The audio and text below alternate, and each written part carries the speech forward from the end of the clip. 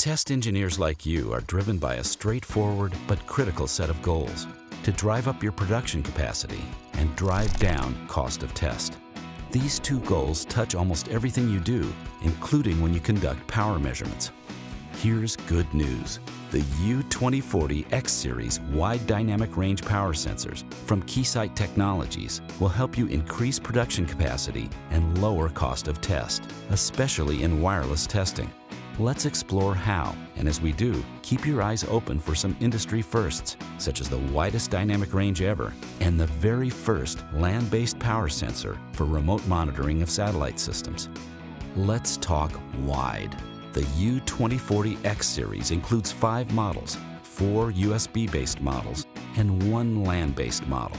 This family of sensors has the widest dynamic range of any power sensor on the market, from minus 70 to plus 26 dBm.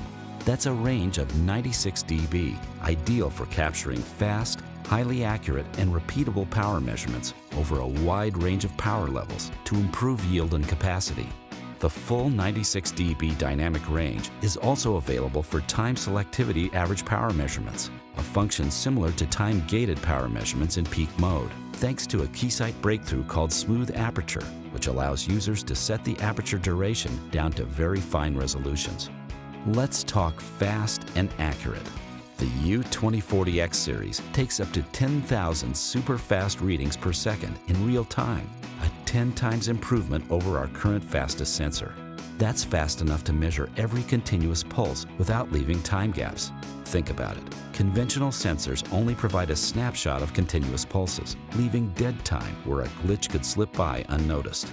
The new U2040X series measures continuously, keeping pace with very fast pulses up to 10 kHz PRF. Let's talk flexible. What's your most pressing need? Whether it's R&D and manufacturing in wireless communication chipsets and devices, radar components, or other general purpose power measurements and test system calibration, the USB U2040X series has it covered. For wireless, you're able to measure any of your chipsets accurately because all common signals are supported. These new sensors will also be compatible with other Keysight instruments. Let's talk LAN.